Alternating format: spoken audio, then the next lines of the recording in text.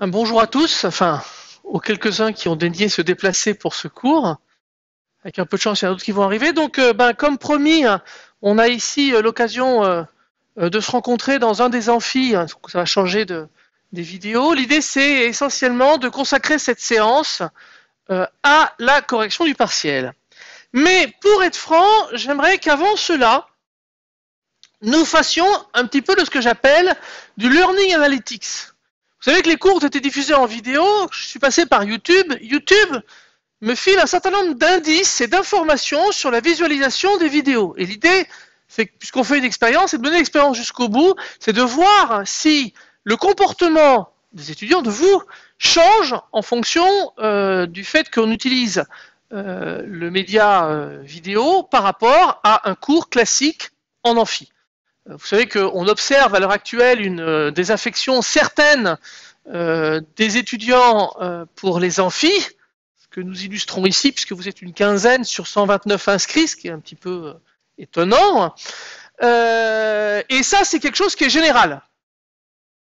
Je veux dire que les, les, collègues, qui soient les monotones ou qui soient, qui soient excités, je veux dire, on observe de façon générale. Donc l'idée de cette expérience, c'était aussi ça.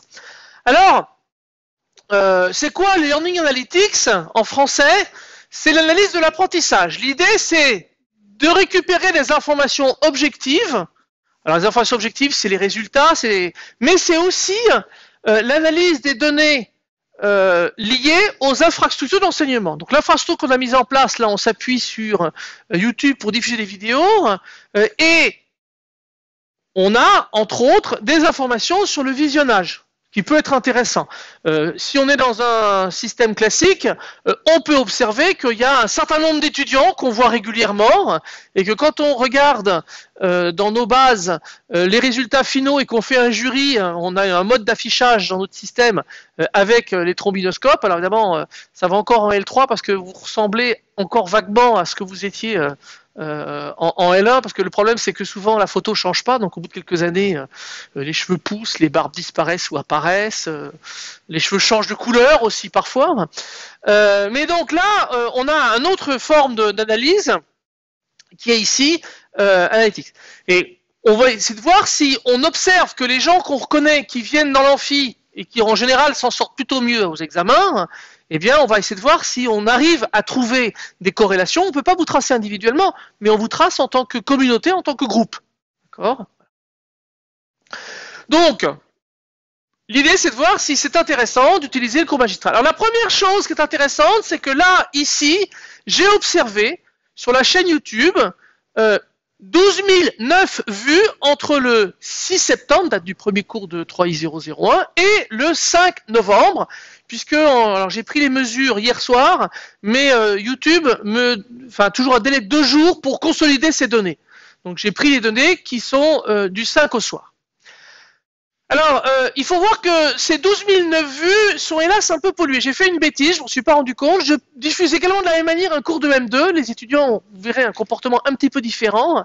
Mais du coup, il y a aussi une centaine de vidéos qui ont été diffusées. Alors, elles étaient diffusées au, 8, donc euh, il y en avait qu'une dizaine de moins, 13 de moins, on doit avoir 90 euh, au 5. Et puis, il y a quelques autres vidéos qui traînent sur cette chaîne. J'aurais dû faire en fait une chaîne parcours pour être euh, plus pur, mais ça m'aurait permis de récupérer directement les dirhams de YouTube euh, Analytics. Alors c'est intéressant, c'est de bon, vous voyez euh, la, population. Je vous rappelle, vous êtes 129 inscrits. Donc là, vous avez ici 250. Et il y a en gros, en tout cas jusqu'à maintenant, il y a 71, 72 vidéos, je ne sais plus dans ces eaux-là. Et donc, si vous êtes 129 multiplié par 72, ou si on publie une dizaine de vidéos par semaine, on devrait avoir un pic qui est supérieur. Là, vous voyez, je dépasse rarement les 300. Sauf ici. Vous avez une idée de ce pic-là, ce que c'est? Au hasard. Ça, c'est le jour du partiel. D'accord Donc il y a quand même quelques personnes qui se sont affolées le jour du partiel, et où effectivement, moi j'ai un flux rentrant sur les 48 dernières heures qui est de l'ordre de 400 vidéos, et là on est passé à 1300. D'où ce pic ici. Voilà. Alors, euh, autre donnée intéressante, euh, ben, euh, la répartition garçon-fille, ben, ça nous prouve que l'informatique est, je sais pas pourquoi, attire pas les filles, d'une part, et puis la promotion concurrente, manifestement encore moins. C'est un peu dommage, mais bon, il n'y a pas de raison. Hein, je veux dire, l'informatique, c'est pas une science sexuée. La science est rarement sexuée, mais visiblement, ça attire moins les filles. Et puis, c'est ça, c'est les sources de trafic. D'où venez? Donc, d'une source externe, la source externe, ça c'est probablement les vidéos du site. Vous savez que chaque vidéo a sa page compagnon avec des informations. Euh, visiblement, il y en a un certain nombre qui utilisent euh, les suggestions. Je- C'est surprenant parce qu'a priori, je pense pas qu'il y ait énormément de trafic extérieur, mais il n'est pas impossible que lorsque vous voyez une vidéo, il vous propose la vidéo suivante dans la foulée. Donc peut-être que certains d'entre vous cliquent. Et puis, euh, il y a la playlist aussi. J'ai fait une playlist avec semaine par semaine. Donc peut-être que certains, ils vont directement à la playlist et ils regardent les choses comme ça. Et puis il y a autre. Donc euh, YouTube ne sait pas identifier les choses. Euh, la question c'est 12 009, est-ce que c'est beaucoup? Encore une fois, 72 vidéos, 129 inscrits, je devrais attendre. Si on considère que vous voyez la vidéo dans son intégralité à chaque fois, on devrait en avoir 9300 quasiment. Ok? Et sachant que ça inclut les cours de M2, pour lesquels il y a aussi pas mal de vidéos, il y a moins d'étudiants, euh, et puis d'autres vidéos, c'est un peu étrange. Alors, il y a une autre manière de compter. Déjà, on observe, YouTube me donne l'info, que la durée de visionnage moyenne, c'est 4 minutes 40. Donc, une vue de vidéo, c'est 4 minutes 40. La durée moyenne de mes vidéos est strictement supérieure à 4 minutes 40. Il y a assez peu de vidéos de cette durée-là. Il y en a même qui sont parfois peut-être un petit peu longues. Mais euh, ça va jusqu'à 20-25 minutes pour certaines vidéos où j'ai pas réussi à faire un découpage qui permettrait d'avoir des vidéos de moins de 15 minutes. Mais on est d'accord que c'est inférieur. Donc en fait, moi ce que j'ai fait, c'est que je connais la durée de toutes mes vidéos. Et j'ai fait le calcul, on est aux alentours, pour quelqu'un qui regarde toutes les vidéos, de 703 minutes. Pour les vidéos qui étaient publiées, en tout cas au jour du partiel. Et Google Analytics me dit que la totalité, c'est... Alors, j'ai vu, enfin, il y a 53 409 minutes de visualisation. Et en fait, moi, je devrais en avoir 90 000. Donc, il y a des trous. Et encore une fois, dans les 53 000, ça inclut le cours de M2. Alors, en fait, je suis pas fou. J'ai pris des mesures toutes les semaines. Un snapshot tous les mardis pour voir ce qui se passait uniquement sur les vidéos de ce cours de L3. Je fais la même chose pour mon cours de M2, c'est un peu pénible à récupérer parce qu'il faut reporter des chiffres sur une feuille Excel, mais ça me donne que pour les vidéos du cours de licence, j'ai 32 175 minutes réparties en 6 796 vues. Alors, on a vu que les vues, ça n'a pas de sens, puisque manifestement, vous ne regardez pas les vidéos d'une traite, vous les regardez euh, en plusieurs fois souvent, donc on ne peut pas compter les vues, il faut compter les durées. Et à partir du moment où j'attends de l'ordre de 90 000 et des brouettes, ça veut dire que en gros, dans l'ensemble, la promotion a regardé à peine plus d'un tiers des vidéos. Ça correspondrait au fait que un tiers de la promotion va en amphi. Et c'est marrant, c'est ce qu'on constate. Donc, gros étonnement quand même. On ne sent pas de grande différence entre votre comportement, que ce soit en amphi ou avec des vidéos, alors qu'on aurait pu penser que les vidéos, l'intérêt, vous pouvez les voir un peu n'importe quand, je sais pas, peut-être dans le dans le dans, le, dans les transports, etc. Alors, par contre, je ne sais pas comment euh, Google capture le fait que certains d'entre vous pourraient peut-être télécharger ces vidéos, mais moi je pense que ça ferait des vues complètes, parce qu'a priori le téléchargement apparaît comme une vue complète, mais ça c'est un peu l'inconnu du système, euh, et ça probablement qu'on fera une enquête auprès de vous pour savoir quel est votre comportement par rapport à ces vidéos, peut-être qu'il y a des minutes qui nous échappent. Cela dit, on va voir plus loin qu'on va retrouver quelques corrélations avec l'examen qui sont inquiétantes.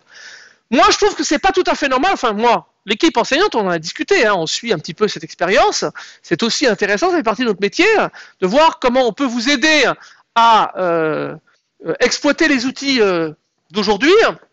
Manifestement, vous n'exploitez pas plus le cours en vidéo que le cours en amphi, et c'est malheureusement, hélas, assez dommage.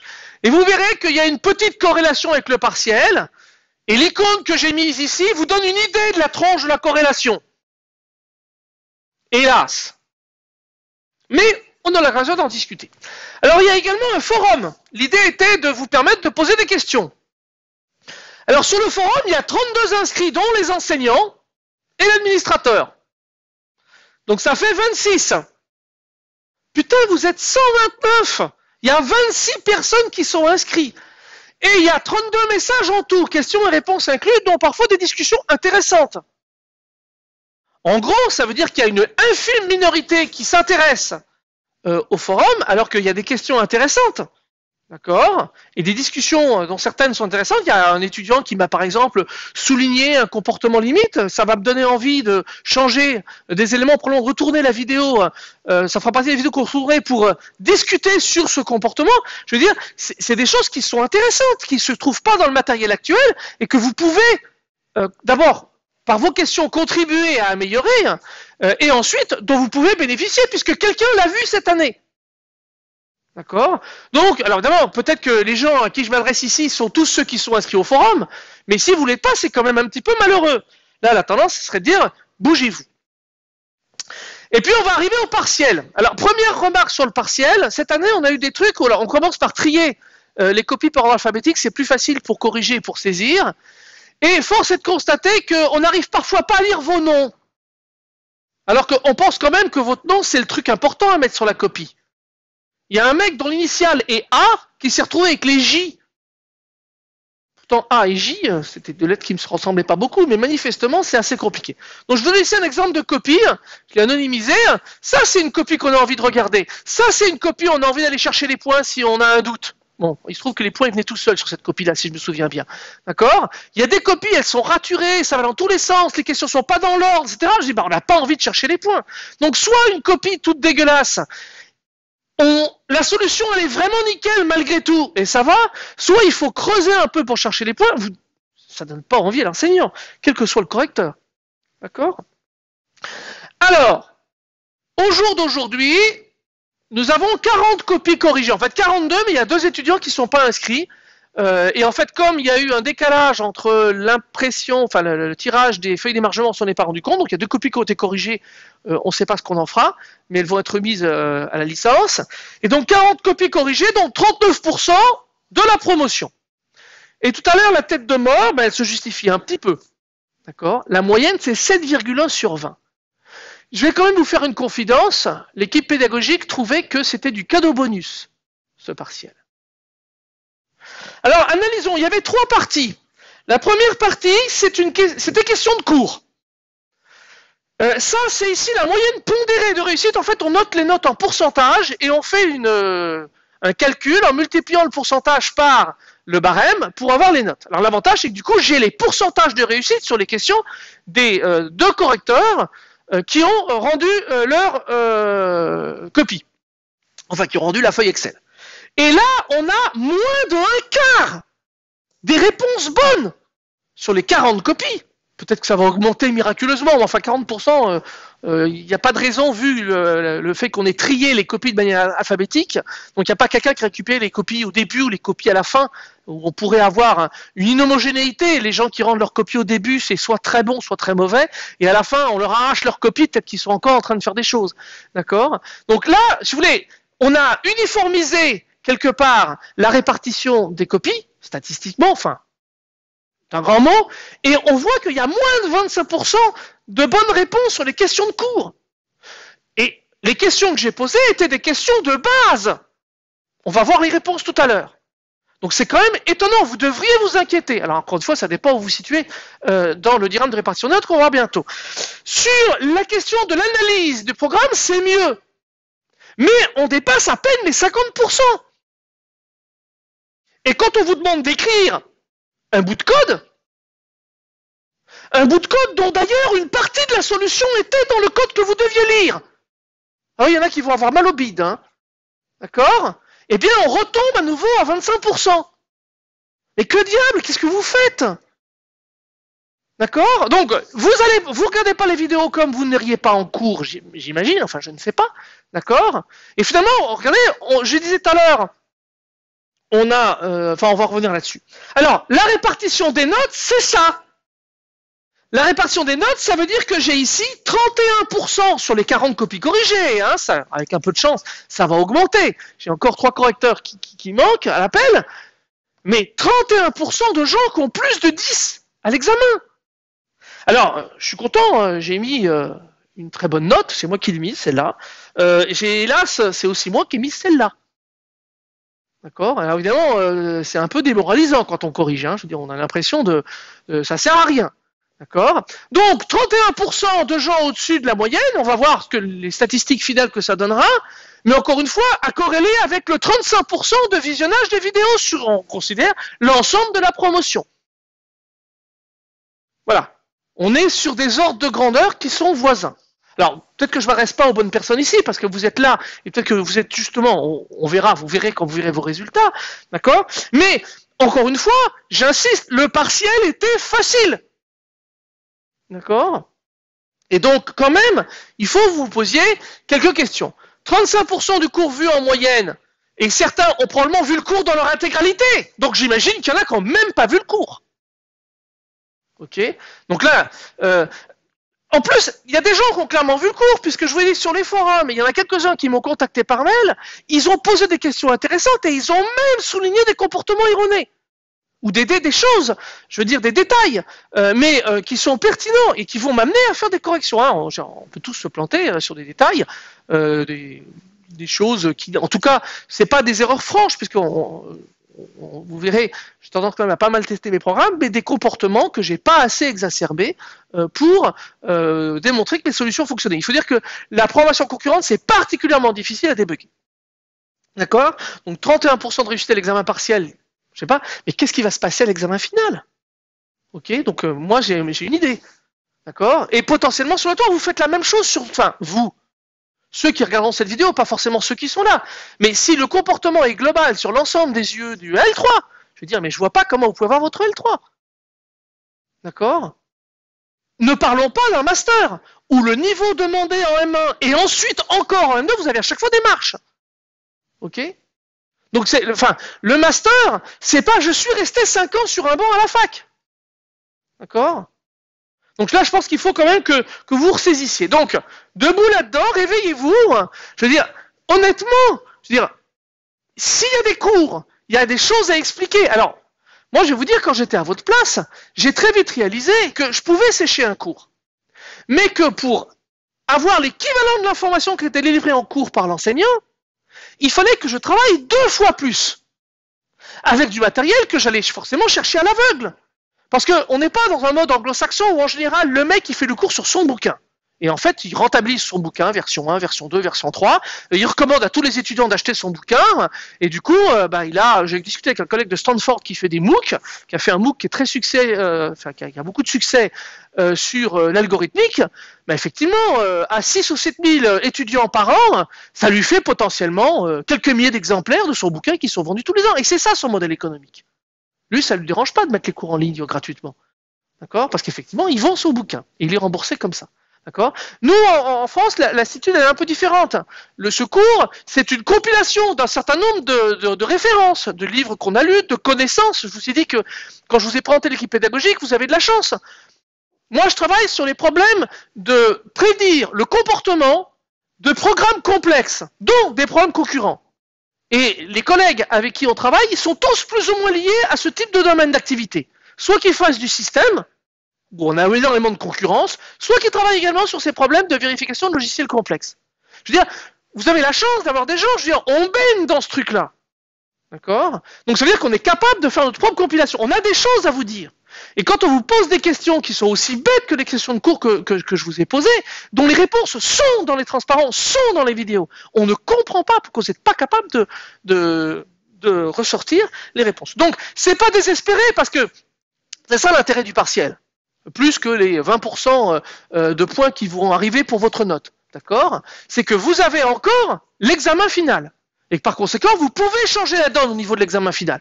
Mais il est clair que euh, il faut probablement changer le comportement global de la promotion. Alors encore une fois, je ne parle pas de comportement individuel, je ne cherche pas des individus. Je parle de comportement global de votre promotion. Vous êtes 129. Les 129 ont a priori, euh, à mon avis, sous-exploité les informations qu'on euh, vous transmet.